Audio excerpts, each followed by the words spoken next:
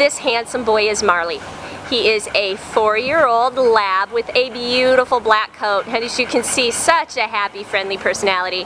His tail is always wagging. He just wants to be near you. He absolutely loves people. He'll lean against you for some attention. He'll even try and crawl in your lap. He thinks he's a big lap dog. Loves to be petted and scratched and does seem to get along well with everyone. Just a very friendly boy. He definitely has a playful side though. He loves to come out here and smell and sniff and explore the world. So he is looking for an active home, someone that could take him for nice long walks or maybe even make him your jogging partner. As you can see, he's very alert and attentive. He's really watching everything that goes on around here and he just wants to go out and meet everyone.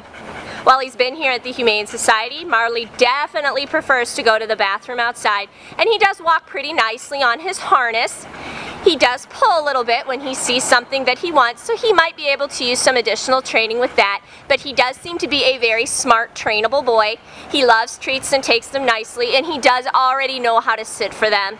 He just wants someone to love him as much as he will love you. He is going to make someone a wonderful new pet.